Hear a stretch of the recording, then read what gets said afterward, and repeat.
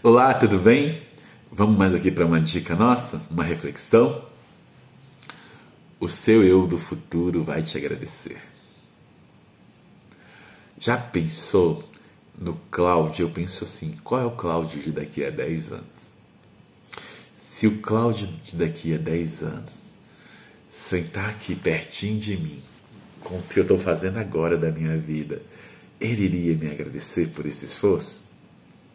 Mantenha, mantenha, mantenha. O seu eu do futuro vai te agradecer. Olha, você pode olhar para o seu passado agora, por que ações que você tomou que o seu eu de agora gostaria de agradecer o seu eu do passado. Pare e pense. Não é gostoso pensar nisso? Eu penso nisso direto. Às vezes eu penso assim, eu queria voltar no Cláudio de 10 anos atrás e falar: parabéns por você ter se casado, parabéns por você ter constituído família, parabéns por você ter feito aquela pós-graduação.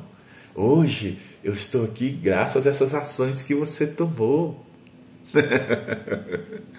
Olhe para o seu eu do passado e comece a agradecer o seu eu do passado pelas ações que ele tomou. E pense a sua vida de agora, pense no seu eu do futuro. E diga assim: olha, eu quero que o meu eu do futuro ele me agradeça. Me agradeça por eu ter tomado essa decisão.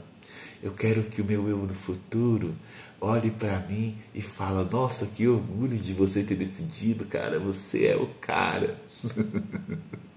tá bom? Se você fizer isso, você vai manter os seus esforços e você vai com certeza é, ter sucesso. Comenta aqui assim: o que você gostaria que o seu eu do futuro dissesse para você agora, para o seu eu do presente? aquele abraço. Fica com Deus. Em pé.